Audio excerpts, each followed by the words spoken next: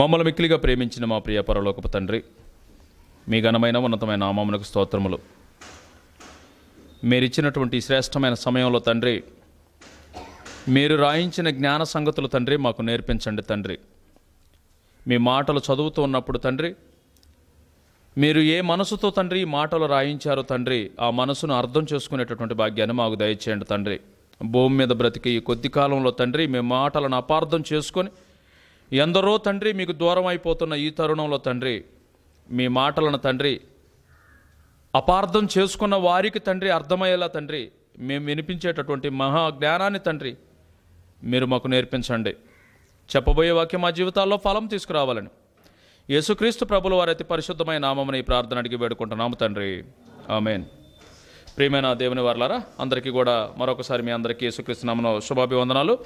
మరి ఈరోజు ఒక మంచి అంశాన్ని మనం జీవగ్రంథంలో నుంచి ధ్యానిద్దాం ప్రేమిలారా బైబిల్ అనేది దేవుడు రాయించిన మహాజ్ఞాన గ్రంథం.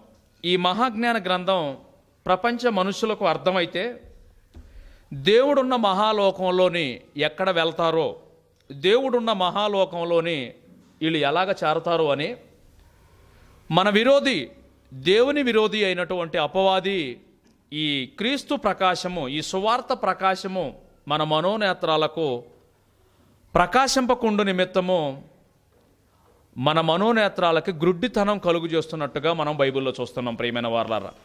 అందుకే ఈరోజు సమాజంలోని ఎందరో క్రీస్తు విరోధులు మరి బైబిల్కు వ్యతిరేకమైనటువంటి రాతలు బైబిల్కు వ్యతిరేకమైనటువంటి భిన్నమైనటువంటి మాటలు సమాజానికి తెలియజేస్తూ ఉన్నారు.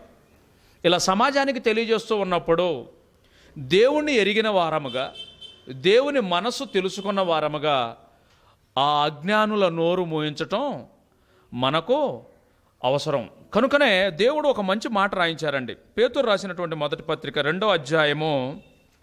పేతురు రాసినటువంటి మొదటి పత్రిక రెండో అధ్యాయము. పదిహేనో వచనంలోని ఇది మనందరికీ తెలిసినటువంటి మాట. బాగా ఇష్టమైన మాట కూడా. ఈ మధ్యకాలంలో ఎక్కువగా ఈ మాటను మన వాళ్ళు ఎక్కువగా అనుసరిస్తున్నారు పదిహేనో వచనం చూడనమ్మా ఏలయనగా మీరిట్లు యుక్త ప్రవర్తన గలవారై అజ్ఞానముగా మాటలాడు మూర్ఖుల నోరు ముయుట దేవుని చిత్తము అని ఉందండి మరలా చదవండి అన్నమాట ఎలా అనగా మీరిట్లు యుక్త ప్రవర్తన గలవారై అని అక్కడ బైబిల్లో ఒక నెంబర్ వేసిందండి చూడండి. బైబిల్లో ఒక నెంబర్ ఉందమ్మా మీ బైబిల్లో? ఒక నెంబర్ ఉందా? నా నెంబర్కి అర్థం కింద ఏం రాశారండి? మేలు చేయువారై అని ఉందండి. అజ్ఞానముగా మాటలాడు మూర్ఖుల నోరు మోయుట దేవుని చిత్తమే. అలా అని మన ప్రవర్తన యుక్తమైనదిగా ఉండకుండా జాగ్రత్త పడాలి. మన ప్రవర్తన ఎలా ఉండాలి? చాలా యుక్తంగా ఉండాలి. ఎదుటివాడికి మనం మాట్లాడే మాట ఎదుటివాడిని ఆలోచింపజేయాలే కానీ వాడు అజ్ఞానుడైనా ఎవడైనా సరే వాడిని మన ప్రభు మార్గంలోకి రప్పించే విధంగా ఉండాలి ప్రియమైన వార్లారా. కనుక మన సమాధానం కలిగి మన ప్రవర్తన చెడిపోకుండా ఎదుటి వారిని అనేక మందిని క్రీస్తులోనికి తీసుకురావాల్సినటువంటి బాధ్యత మన మీద ఉంది. మనం చెప్పడమే మన బాధ్యత. మనం ఎదురాడి దూష దూషణ చేయాల్సిన అవసరం లేదు. ఇందులో భాగంగానే ఒక అపార్థం చేయబడినటువంటి సంగతి మనకు కూడా చాలా అవసరమైనటువంటి సంగతులు. కొన్ని సంగతులు ఈరోజు బైబిల్లో నుండి ధ్యానిద్దామండి. ఇది తెలుసుకునే ముందు యోబు గ్రంథంలోనే ఒక ఇంట్రెస్టింగ్ మాట రాయబడిందండి. యోబు గ్రంథం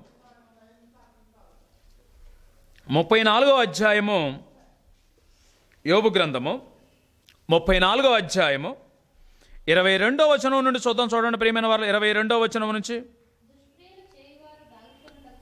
ఏంటండి అండి దానికంటే ముందు ఇరవై ఒకటి కూడా చూద్దాము ఇరవై ఒకటి కూడా. ఆయన దృష్టి ఆయన దృష్టి నరుల మార్గముల మీద ఉంచబడి ఉన్నది. మరలా ఆయన దృష్టి నరుల మార్గముల మీద ఉంచబడి ఉన్నది. సీసీటీవీ ఆన్ అయిపోయింది అని అంటే ఒక్కొక్కడు అలర్ట్ అయిపోతాడండి. ఏమండి? మొన్న నేను ఫేస్బుక్లో ఒకటి చూశాను. ఒక వ్యక్తి బైక్ రిపేర్ చేసుకుంటున్నాడు ఏదో పర్సు ఇలా పెట్టుకొని వంగి రిపేర్ చేసుకుంటా ఉన్నాడు. వెనక నుండి ఒకడు వచ్చాడండి. వచ్చేసేసేసి పర్సు కొట్టేసేసాడు. పర్సు కొట్టిండు కొట్టిన వెంటనే అర్థమైపోయింది ఆల్రెడీ అక్కడ సీసీటీవీ ఉందన్న సంగతి. పైన ఒక సీసీటీవీ ఉంది అది రికార్డ్ అవుతా ఉంది. రికార్డ్ అవుతుంది అనగానే చూసి ఆ పర్సు తీసుకున్నాడో తీసుకొని పరిగెత్తాల. కానీ అది చూసిన మరుక్షణం ఈడేం చేశాడో తెలుసు? వెంటనే అక్కడే నిలబడి వాడి వెనకన అటు ఇటు తిరిగి మరలా వాడు వంగినప్పుడు వాడి పర్సు వాడికి పెట్టేసేసి ఇట్ట ఇట్ట దండం పెట్టుకుని వెళ్ళిపోయాడండి. మీరు బాగా గమనించాలా? నాకు చాలా ఆశ్చర్యం అనిపించింది. ఓహో సీసీటీవీ పర్యవేక్షణలో ఉంది అని అంటే ఒక్కొక్కడికి భయం. కానీ సీసీటీవీ కంటే పవర్ఫుల్ మరొక సీసీటీవీ ఆన్ అయింది అని అంటున్నాడు ఇక్కడ దేవుడు. ఇప్పుడు చదవండి ఎంత బాగుంటుంది అన్నమాట? ఆయన దృష్టి నరుల మార్గముల మీద ఉంచబడి ఉన్నది. You are under god's surveillances నువ్వు ఎక్కడ? సీసీటీవీ పర్యవేక్షణలో కాదు. దేవుని పర్యవేక్షణలో నువ్వు ఉంచబడ్డావు. ప్రతిదీ ఆయన మానిటర్ చేస్తూనే ఉన్నాడు ప్రియమైన వార్ల అని ఇక్కడ ఒక మాట అంటున్నారండి. ఆయన వారి నడకలన్నీ సీసీటీవీకి అందని దొరకని రిపోర్టు దేవుని దగ్గర దొరుకుతూ ఉంది. దేవుని రిపోర్ట్లో ఎవడో తప్పించుకోలేడు ప్రియమైన వార్లరా. హెచ్కేలు గ్రంథము పద్నాలుగో అధ్యాయంలోనే ఇంకొక మాట అంటున్నాడండి.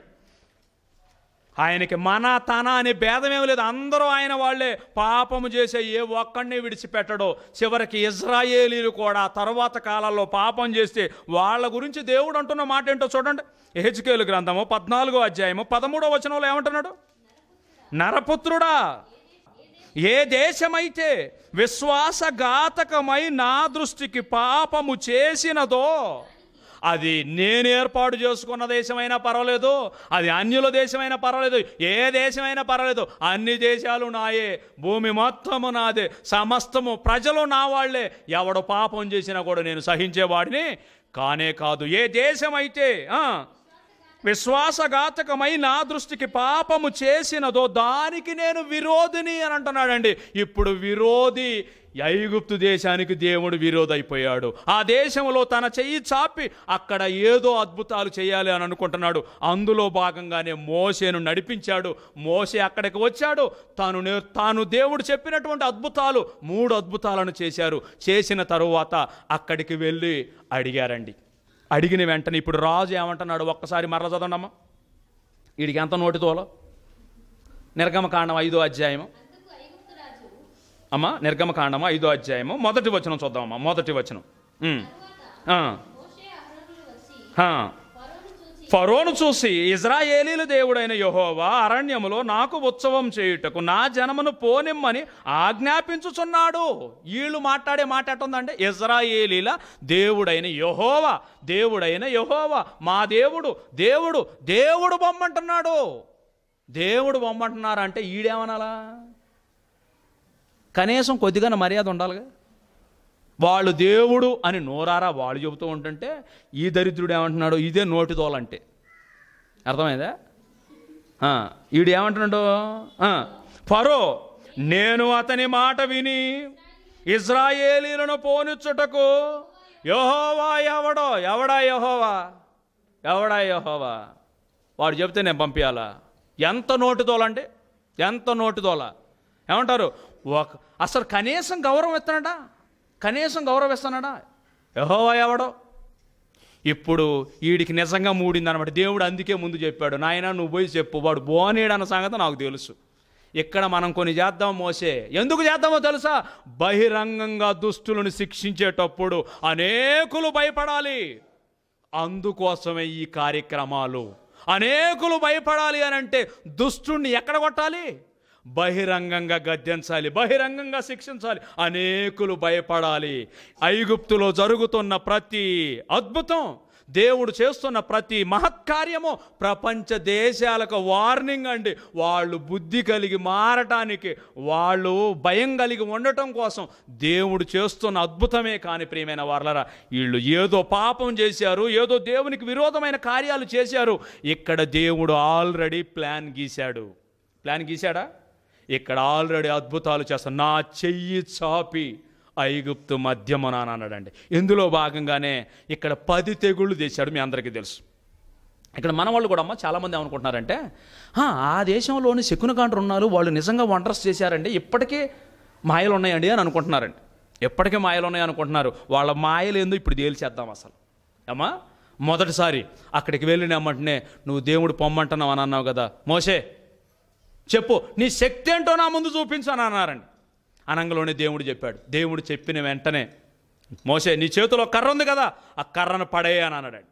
కర్రను పడేయ అని అనగానే ఆల్రెడీ మనోడికి ప్రాక్టీస్ ఉంది. ఎక్కడ ప్రాక్టీస్? హోరేపు కొండ మీద ఆల్రెడీ ప్రాక్టీస్ ఉంది. ఫస్ట్ సారి పామును చూసినప్పుడు భయపడి ఉంటాడు కానీ పట్టుకున్నాడు ధైర్యంగా పట్టుకున్నాడు. ఆ ప్రాక్టీస్లో ఏం చేసిండు? కర్రను పడేసేసిండు. పాము అయిపోయింది. పాము అయిపోయిన వెంటనే ఫరోగాడు చూస్తున్నాడు. పరోగాడు చూస్తున్నాడు. రాజు అంటే ఒక్కడ కూర్చుంటాడా? చాలామంది అధిపతులు అధికారులు అందరూ కూర్చున్నారు. పాము పెద్ద పాము రెడీ అయిపోయేది. అయిన వెంటనే శకునగాండ్రను పిలిపించాడండి. శకునగాండ్రను పిలిపించినప్పుడు వాళ్ళు ఏం చేశారు చూడండమ్మా. ఏడో అధ్యాయము నిర్గమకాండము ఏడో అధ్యాయము. నిర్గమకాండము ఏడో అధ్యాయము.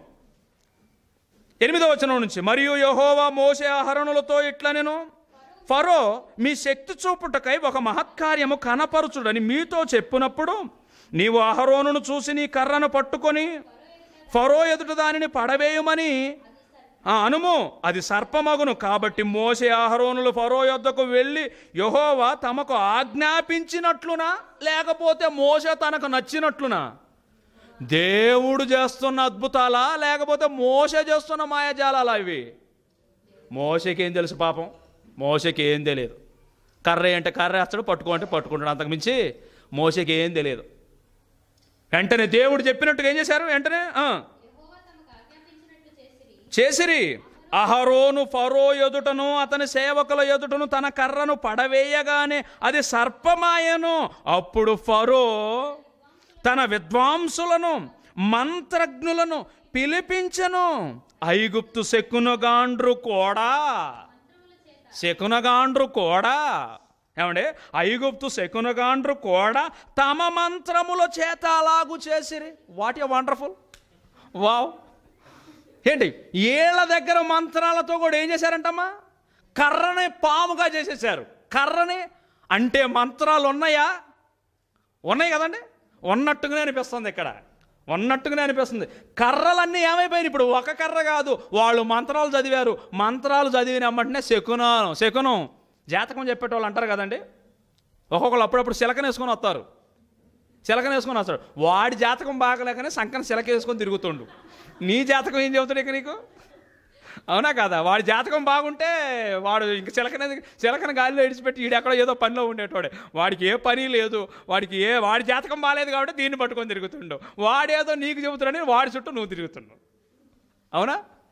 ఇక్కడ మంత్రం చేత ఏం చేశారంట వాళ్ళు? కర్రలో పాములుగా మార్చేశారంట. అప్పుడు ఏమైపోయింది చూడండి ప్రియమైన వారులరా? వారిలో ప్రతివాడును అది సర్పమాయను అది సర్పమాయను కానీ అహరోను కర్ర వారి కర్రలను మృంగి వేస్తూ ఉంది. ఇప్పుడు మీరు పాయింట్ క్యాచ్ చేయాలండి. ఆల్రెడీ అహరోను గారి కర్ర ఆల్రెడీ పాము అయిపోయింది వాళ్ళ కర్రలు కూడా పాములు అయిపోయినాయి. ఇప్పుడు వాళ్ళ పాములు ఇటు పక్క ఉన్నాయి మనోడి పాము ఇటు పక్క ఉంది. ఈ పాము ఏం చేస్తుంది ఇప్పుడు? అహరోను గారి పాము ఏం చేస్తుంది? ఇది పోయి టపా టపా టపా ఒకటి మింగేస్తా మింగేస్తున్నప్పుడు శకును కాడు ఏం చేయాలా? ఒరే ఆగరరే ఒరే దరిద్రుడు ఆగ నా కర్రలని మింగుతుంది. లాగండ్రరే అన్నారా? లాగుదామంటే కరిసిద్దేమో. ఇది ఒక భయం. ఎంతకో ఈ కర్రలు ఎందుకు పాములు అయినాయో ఎవడికి తెలియదు. ఏమండి? బాగా ఆలోచించాల? ఒక ఒకవేళ శకునగాండ్రు కర్రలను పాములుగా మార్చారు. ఆ పాములను కళ్ళ ముందు ఇది మింగేస్తా ఉంది. ఇది మింగేస్తా ఉన్నప్పుడు ప్రియమైన వారలాలు ఏం చేయాలి ఇప్పుడు? ఏం చేయాలి అర్థం కాక సైలెంట్గా కూర్చున్నారండి. సైలెంట్గా కూర్చున్నారు. ఇది మొదటి అద్భుతం జరిగింది. వాళ్ళ దారి వాళ్ళు వెళ్ళిపోయారండి. తరువాత దేవుడు చెప్పాడు ఎప్పటి నుంచి పది తెగుళ్ళు ఈ దేశం మీదకి రప్పిస్తబోతున్నాను. చూశాడు కదా మొదటిసారి నీ శక్తి ఏంటో చూశాడు కదా? ఇప్పుడు ప్రతి ప్రతిదీ కూడా ఈ దేశంలో జరగబోయే తెగులు ప్రపంచ దేశాలకు వార్నింగ్. ప్రపంచ దేశాలకు వార్నింగ్. కాబట్టి నీ కర్రని దశకుపోయి ఈ ఏటి మీద ఈ కాలవల మీద ఈ చెరువుల మీద ఈ నదుల మీద చూపించే మొత్తం నీళ్ళన్నీ కూడా ఏమైపోతాయి? మొత్తం రక్తం అయిపోద్ది. అక్కడ లోపల రక్తం అయిపోవటం వల్ల లోపల ఉన్న చేపలు మొత్తం చచ్చిపోతాయి. కంపు కొట్టుతూ ఉంది. ఈ కంపు వీళ్ళు తట్టుకోలేని కంపు. ఇప్పుడు నీళ్ళు లేవు. ఏమండి నీళ్ళలో అప్పుడు ఏం చేశారో చూడండమ్మా ఏడో అధ్యాయము. ఏడో అధ్యాయము ఇరవై ఒకటో వచనం. ఏటిలోని చేపలు ఏటిలోని చచ్చెను చచ్చిపోయినాయా? ఆల్రెడీ అయిపోయినాయి. నెక్స్ట్ ఏరు కంపు కొట్టెను. ఐగుప్తీయులు ఏటి నీళ్ళు త్రాగలేకపోయిరి? ఐగుప్తు దేశమందంతటా రక్తము ఉండెను రక్తము ఉండెను ఎవరి మాట మూలంగా అండి జరిగేది? దేవుడు చెప్పిన ఒక మాటకి దేశంలో ఉన్న నీళ్ళు నీళ్ళు మొత్తం రక్తం అయిపోయింది పాత్రలు కొండలు ఏమీ లేవు. స్నానం చేద్దామంటే నీళ్ళు లేవు. బట్టలు ఉతుక్కుందామంటే నీళ్ళు లేవు. ముఖం కడుక్కుందామంటే నీళ్ళు లేవు. బ్రష్ చేద్దామంటే నీళ్ళు లేవు. గిజగిజలాడిపోయారండి దేశం. అప్పుడు రాజు హృదయాన్ని ఆల్రెడీ కఠిన పరుస్తాను అన్నాడా? ఒకసారి ఆ మాట కూడా చూద్దాం చూడండి. నిర్గమకాండము నాలుగో అధ్యాయంలోనే ఆ మాట అన్నాడండి దేవుడు. నిర్గమకాండము నాలుగో అధ్యాయము ఇరవై ఒకటో వచనం. అప్పుడు యహోవా మోషేతో ఇట్లా నేను నీవు ఐగుప్తునందు తిరిగి చేరిన తరువాత చేయుటకు నేను నీకిచ్చిన మహత్కార్యములన్నీ ఫరో ఎదుట చేయవలను సుమి. అయితే నేను అతని హృదయమును కట్టిన పరిచెదను. నేను అతని హృదయమును కట్టిన పరిచదను. వాడు మారు మనసు పొందడానికి ఛాన్స్ లేదు ఇక వాడికి మారటానికి లేదు. వాడి హృదయాన్ని కట్టిన పరిచేస్తాను. ఏమండి దేవుడు ఎందుకండి ఇంత ఇంతగా ఒక వ్యక్తి గురించి దేవుడు ఎందుకండి ఇంత దారుణంగా మాట్లాడుతున్నాడు? వీడు ఏదో చెయ్యరాని ద్రోహ కార్యాలు చేశారు కాబట్టి దేవుడు వీడి గురించి ఇంత దారుణంగా మాట్లాడుతున్నాడు. అందుకే మీకు ముందుగా చదివించానమాట ఒకడు న్యాయ విమర్శలోనికి రాకమునుపు వాడిని పదే పదే ఎంక్వైరీలు చేయాల్సిన పని దేవుడికి అవసరం లేదు. వీడి గురించి అనేక ఎంక్వైరీలు చేయాల్సిన అవసరం లేదు. దేవుడి దృష్టికి సమస్తము మొత్తం వాడి సీక్రెట్స్ అన్ని చూశాడు. వీడి బుద్ధి ఎలాంటిది? కాబట్టి వీడికి ఏదో జరగాలి. వీడికి జరిగే ప్రతి పనిష్మెంటు ప్రపంచంలో ఉన్న ప్రతి ఒక్కడికి భయం కలగాలి. కాబట్టి వాడికి భయం కలగాలి అంటే వీడిని గట్టిగా కొట్టాలి. ఏమండి క్లాసులో టీచర్ ఉంటారండి. టీచర్ ఏం చేస్తారు తెలుసా? ఒక్కడిని గట్టి కొడతారండి. ఏమండి అవునా కదా? ఎవరిని కొడతారు? ఎవడైతే మరీ ఎగిరెగిరి పడతాడో ఓవర్ చేస్తాడో వాడిని ఒక్క తీత తెస్తారు. ఒక్క తీత వాడిని కొడితే క్లాస్ మొత్తం సెట్ అయిపోద్ది. ఇంకెవ్వరు కూడా మాట్లాడరు. అవునా కదా? అందరం కొట్టాల్సిన అవసరం ఒక్కడిని గట్టి కొడతారు. అంతే. ఇక్కడ కూడా దేవుడు ఈయన్ని ఒక్కడిని కొడితే మిగిలిన దేశాలన్నీ సెట్ అయిపోవాలి అని అనుకున్నాడండి. ప్రపంచంలో అప్పటికి అసలు దేవుడు భయం లేకుండా ప్రపంచం అంతా విగ్రహారాధనతో నిండిపోయి రక్తబలి పసి పసిబిడ్డలని బలిగా ఇస్తున్న రోజులు ప్రియమైన వాళ్ళ ఆ రోజులలో. ఆ రోజులలో నిజమైన దేవుడు అంటే కనుమరుగైపోయినటువంటి ఆ రోజులలో బొమ్మలకు మొక్కుతున్నటువంటి ఆ రోజులలో దేవుడు నిజమైన దేవుణ్ణి అని నిరూపించుకోవటం కోసం నిరూపించుకోవటం కోసం. ఎవడికి చెబితే వింటున్నాడో ఎవడో వినే పరిస్థితిలో లేడు. కాబట్టి దేవుడు తాను చేయదలిసినటువంటి మహత్కార్యాలు ఈ దేశంలో చేయాలనుకుంటున్నాడు. అందుకోసమే ఈ రాజు అనేవాడు ఎంత దుర్మార్గుడో. దుర్మార్గుడు కాబట్టి ఏం చేస్తున్నాడు దేవుడు? దుర్మార్గుడు కాబట్టి ఈడి హృదయాన్ని కఠినపరుస్తున్నాడు. మంచోళ్ళని ఎందుకు కఠినపరుస్తాడండి ఆయన? మంచోళ్ళని ఎందుకు కఠినపరచడు మోసాన్ని కఠినపరచలేదే. లేకపోతే ఇంకొకరిని కఠినపరచలేదు. ఎవరిని కఠినపరచకుండా ఇతన్ని ఎందుకు కఠినపరిచాడు? ఈడేదో చేశాడనమాట ఈడేం చేశాడో లాస్ట్లో చెప్తాను మీకు. నిర్గమకాండము మొదటి అధ్యాయం. నిర్గమకాండము మొదటి అధ్యాయము. పదిహేనో వచనం చూడండి పదిహేనో వచనం. ఐగుప్తు రాజు సిఫ్రా పూయ అను హెబ్రియుల మంత్రసానులతో మాట్లాడు ఏమంటే రాజు అనేవాడు మంత్రసానితో మాట్లాడవచ్చా అసలు మంత్రసానితో మాట్లాడాల్సిన దరిద్రపు పని ఈడికెందుకు? మంత్రసాని ఎక్కడో పురిటి నొప్పులతో బాధపడుతున్నటువంటి గర్భవతులైన తల్లుల దగ్గర ఉండే ఆ స్త్రీని రాజుగా ఉండేవాడు పిలిచాడు అని అంటే వాడు పిలిచి పైగా ఏం చెబుతున్నాడు? పుట్టే పసిబిడ్డలో గనక మగపిల్లలైతే పుట్టుకలోని చంపేసేయండి నిరపరాధులండి పరిశుద్ధులు దేవుడిచ్చిన గర్భఫలాలు గర్భఫలాలను పుట్టుకలోని చంపేయాలి అని అనుకున్నారు. ఆ షిఫ్రా పూయ అనే వాళ్ళకి చెబితే వాళ్ళు భయపడ్డారండి. మాకు బిడ్డలం కన్నా. నేను ఒక తల్లినే. నేను తల్లినే ఉండి నా బిడ్డలను ఇలాంటి పసిబిడ్డలను చంపటం ఏంటి? భయపడి బిడ్డలను దాచిపెట్టారండి.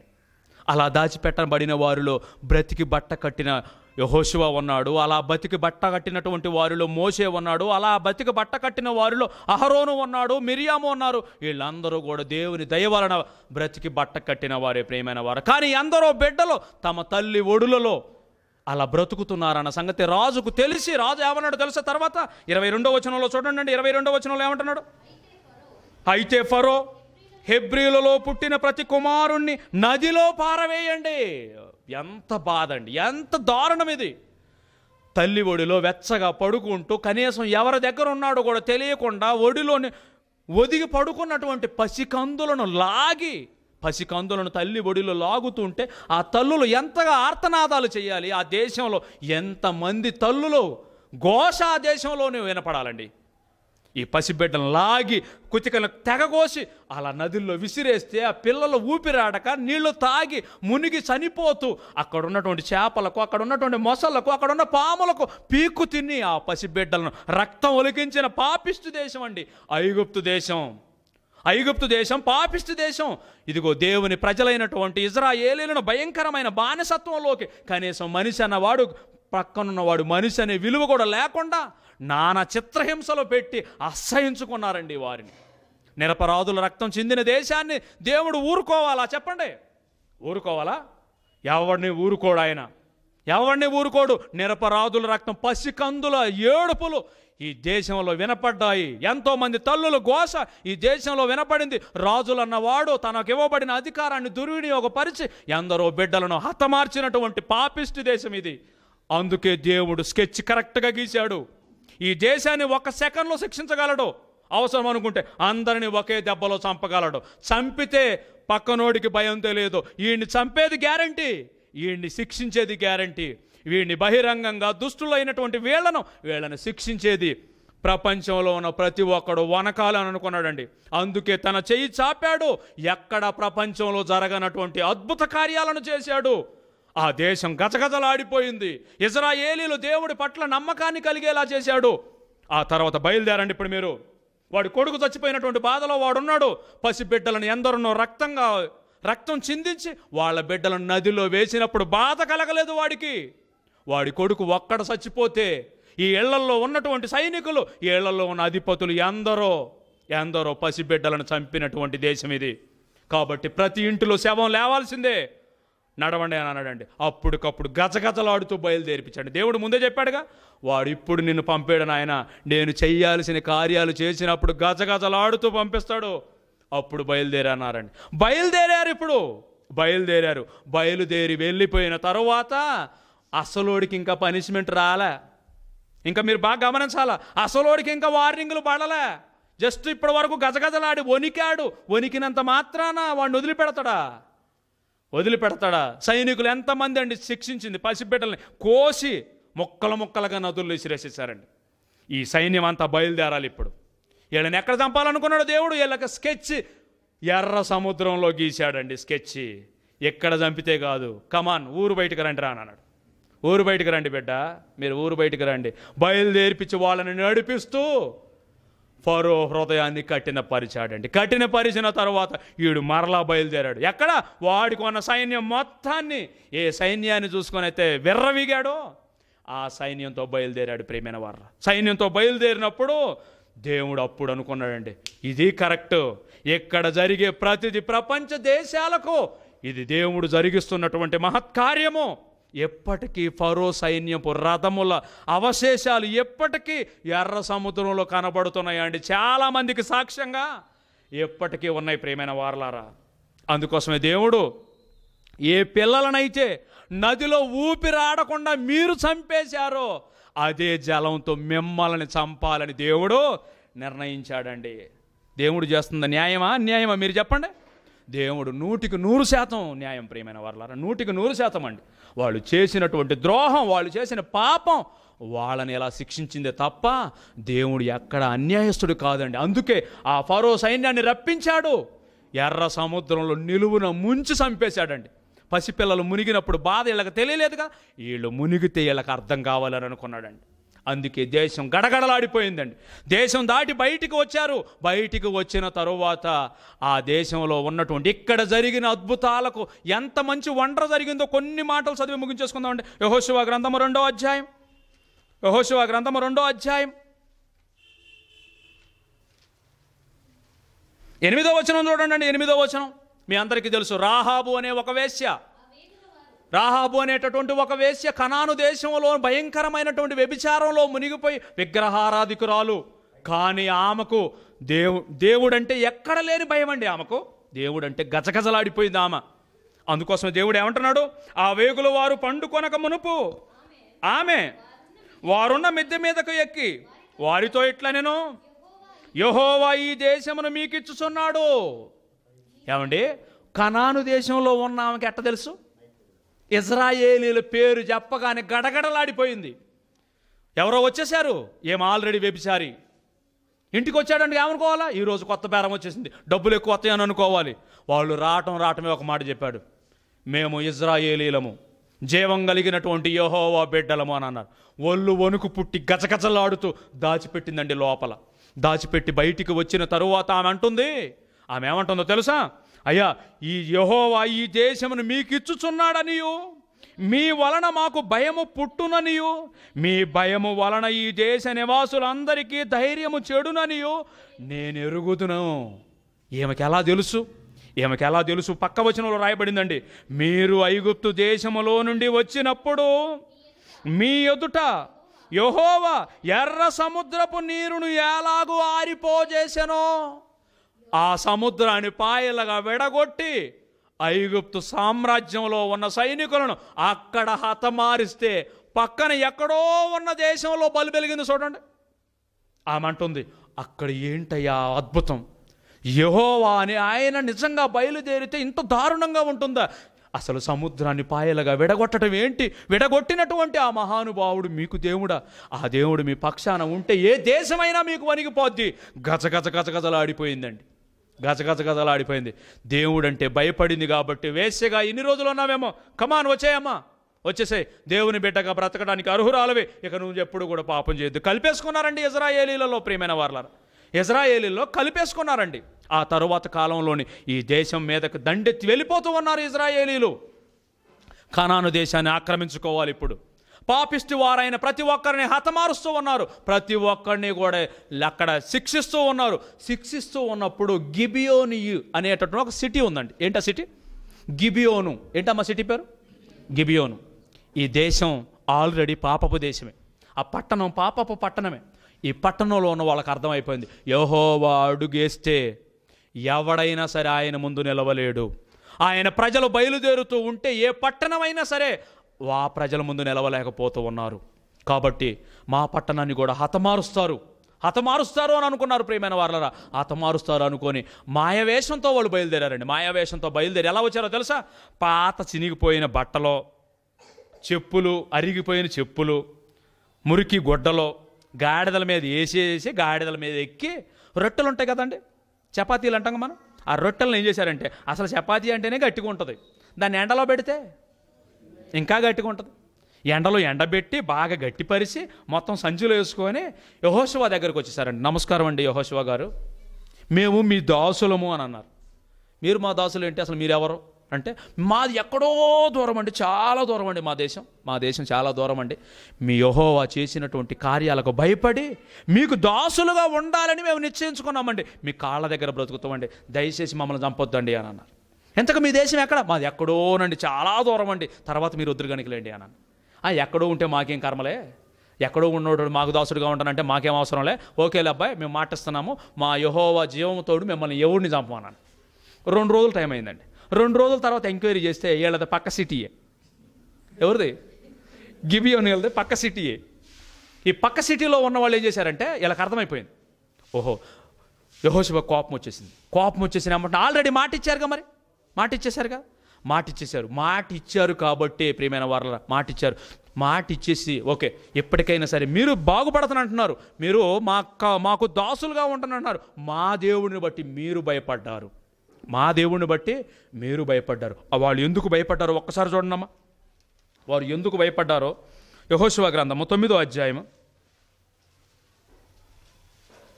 తొమ్మిదో వచనం చూడండి అండి ఉమ్. నీ దేవుడైన యెహోవా వారు నీ దేవుడైన యహోవా నామమును బట్టి నీ దేవుడైన యహోవా నామమును బట్టి నీ దేవుడైన యహోవా నామమును బట్టి. ఆయన సామాన్యుడు కాదండి. ఆయనే నిజమైన దేవుడండి. సముద్రాన్ని చేల్చగలిగిన దేవత కానీ దేవుళ్ళు అనబడిన వాళ్ళు కానీ ఏ ఒక్కడో ప్రపంచ చరిత్రలో లేడు. ఈ యహోవా తప్ప. కాబట్టి ఒక అన్యజాతి సాక్ష్యం ఇస్తూ ఉందండి నీ దేవుడైన యహోవా నామమును బట్టి నీ దాసులమైన మేము బహుదూరము నుండి వచ్చితిమి. ఏలయనగా ఆయన కీర్తిని ఆయన ఐగుప్తులో చేసిన సమస్తమును యోర్ధానుకు అద్దరినున్న ఐగుప్తులో చేసిన సమస్తమును ఐగుప్తులో దెబ్బబడింది. ఎక్కడో వేరే దేశాలలో కనాను దేశంలో ఉన్న గిబియోను పట్టణం బాగుపడిందండి.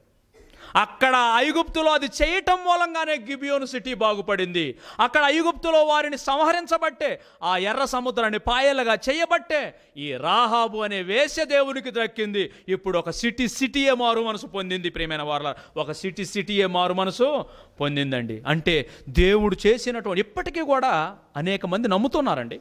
ఎప్పటికీ కూడా దేవుడు చేస్తున్నటువంటి మేలులు దేవుడు చేస్తున్నటువంటి దేవుడు చేసినటువంటి ఆ అద్భుతాలను ఆ ఎర్ర సముద్రంలో ఉన్న అవశేషాలను బట్టి నిజంగా ఇది కరెక్ట్. అంటే ఇది ఎక్కడ కూడా ఇది అబద్ధం కాదు ఇది నిజము అని శాస్త్రవేత్తలు కూడా దీన్ని నిర్ధారిస్తూ ఉన్నారు ప్రేమైన వార్ల.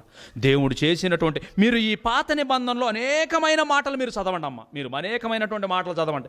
మీరు తర్వాత సమయంలో సమయలు మొదటి గ్రంథం నాలుగో అధ్యాయం మీరు ఇంటికి వెళ్ళిన తర్వాత చదవండి. అక్కడ కూడా పిలిస్తీయులు అనే జాతి ఒక మాట అంటుందండి. అయ్యో ఒక మాట చదువుతాం ఆ మాట చూడండి. సమయలు మొదటి గ్రంథము నాలుగో అధ్యాయము. నాలుగో అధ్యాయము. నాలుగో అధ్యాయం ఆరో వచనం చూడండి అండి. ఫిలిస్తీన్లు అన్యులండి. అన్యులు ఎవరిని జ్ఞాపకం చేసుకుంటున్నారు? కొన్ని వందల సంవత్సరాల తరువాత కొన్ని దశాబ్దాల తరువాత యహోవా చేసిన ఐగుప్తులో చేసినటువంటి సూచక క్రియలను వీళ్ళు జ్ఞాపకం చేసుకుంటున్నారు. ప్రేమైన వారు ఏమంటున్నారు? ఫిలిస్తీయులు ఆ కేకలు విని హెబ్రియుల దండులో ఈ గొప్ప కేకల ధ్వని ఏమని అడిగి యహోవా నిబంధన మందసము దండులోనికి వచ్చనని తెలుసుకొని జడిసి దేవుడు దండులోనికి వచ్చనని అనుకొని అయ్యో మనకు శ్రమ ఇంతకు ముందు వారిలాగు సంభ్రమింపలేదు. అయ్యయ్యో మా సూర్యుడగు ఈ దేవుని చేతిలో నుండి మనలను ఎవరు విడిపింపగలరు? అరణ్యమందు అనేకమైన తెగుళ్ళ చేత ఐగుప్తీయులను హతము చేసిన దేవుడు ఈయనే. వండర్ఫుల్ కదండి. ఎన్ని సంవత్సరాల తరువాత ఎక్కడెక్కడో ఉన్న అన్ని జనులు యహోవా నామమన్నా యహోవ ప్రజలన్నా గజగజలాడిపోయి ఆయన గురించి ఎంత గొప్పగా సాక్ష్యం చెబుతున్నారంటే ఆ దేవుని ఎదుట భయపడుతూ ఉన్నారు ప్రియమైన వారు ఎలా ప్రపంచంలో భయపడాలి అనే ప్రపంచంలో అనేక దేశాలు భయపడాలి అనే తమ పాపాన్ని ప్రక్కన పెట్టుకొని దేవుని తట్టుకు తిరగాలని దేవుడు పాపము చేసిన ఐగుప్తును శిక్షించాడు బహిరంగంగా శిక్షించాడు. ఆ బహిరంగ శిక్ష అనేకులు భయపడినట్టుగా మనం చూస్తున్నాం ప్రియమైన వారలారా. పాపం చేసినటువంటి ఫరో చక్రవర్తి పసిబిడ్డలను హతమార్చాడు. దేవుడంటే లెక్క లేకుండా మాట్లాడండి. దేవుడంటే యహోవ ఎవడో జనులను పోనీయడానికి యహోవ ఎవడో? వాడెవడో చెబితే నేను పోనీయాలని అన్నాడు. చేతులు కట్టుకొని గజగజ వణుకుతూ పంపించేశాడండి గజగజ వణుకు పంపించాడు ప్రేమైన వారు వాడి హృదయాన్ని కఠినపరిచి వాడి సామ్రాజ్యాన్ని కొల్లబడిసి దేశాన్ని చిత్రవద చేసి ఆయన బిడ్డలను ఆయన తీసుకొని వచ్చాడు ప్రేమైన వారలరా దేవుని చేతిలోని ఎలా వాడబడ్డాడు దేవుని చేతిలో వాడబడ్డాడండి. దేవుని చేతిలోని భయంకరంగా వాడబడ్డాడు ప్రేమైన వారలు. మనం గనక మెత్తని మనసు కలిగి ఉంటే దేవుడు మనల్ని హత్తుకుంటాడండి మనం గనక కఠినమైన హృదయం కలిగామా? ఉదయం నేర్చుకున్నామండి. మెత్తని మనసు కలిగిన యోషియాను బట్టి దేవుడు మనసు మార్చుకున్నాడు. కఠినమైన హృదయం కలిగిన పరోను బట్టి నిన్ను నా నా బలమేదో ప్రపంచానికి చూపించడం కోసమే నిన్ను ఆడుకుంటానన్నాడు వాడుకున్నాడు. మనం కఠినంగా ఉంటున్నామా? మనం మెత్తని మనసు కలిగి ఉంటున్నామా? మనం దేవుణ్ణి మెప్పించాలనుకుంటున్నామా? దేవుని యందు భయభక్తులు కలిగి ఉంటున్నామా? మనుషుల ఎందు భయభక్తులు కలిగి ఉంటున్నామా ప్రేమైన వారలరా? జాగ్రత్తగా ఆలోచించుకోవాలండి. దేవుడు నిన్ను కూడా కఠిన పరిచే స్థితి నీలోనికి రాకూడదు. ఎవరైతే దేవునికి తమ మనసులో చోటి నొల్లకు పోతారో ఎవరైతే దేవుడికి తమ మనసులో చోటి నొల్లక పోతారో దేవుడే చెయ్యరాని కార్యములు చేయుటకు భ్రష్ట మనసుకు వారిని అప్పగిస్తాడు. ఒక్క మాట చదువుకొని ముగించేసుకుందామండి. రోమపత్రిక మొదట అధ్యాయం ఇరవై ఎనిమిది. రోమపత్రిక మొదట అధ్యాయము ఇరవై ఎనిమిది. మరియు వారు తమ మనస్సులో దేవునికి చోటియ నొల్లకపోయిరి కనుక చేయరాని కార్యములు చేయుటకు దేవుడే దేవుడు భ్రష్ట మనసునకు వారిని అప్పగించను. దేవుని వాక్యం చదువుతున్నటువంటి ప్రపంచంలో ఉన్న ఎవరైనా సరే దేవుని వాక్యం చదువుతున్నప్పుడు దేవుని మనసు ఏదో తెలుసుకోవాలి కానీ మనకు నోటికి వచ్చిందల్లా రాసేస్తే నిన్ను కూడా భ్రష్ట మనసుకు అప్పగేస్తాడు. భ్రష్ట మనసుకు అప్పగించినప్పుడు ప్రారంభం బాగుంటుందేమో కానీ ముగింపు చాలా దారుణంగా ఉంటుంది. ఎందుకంటే దేవుడికి శత్రువు అయిపోతాం ప్రియమైన వారలారా. దేవుడికి శత్రువు కాకుండా మన జీవితాలను జాగ్రత్తగా భద్రపరుచుకుందాం. దేవుడిలోని పరిశుద్ధంగా కొనసాగుదాండి పరిశుద్ధంగా కనుమొద్దాం దేవుడున్న మహాలోకాన్ని స్వతంత్రించుకుందాం.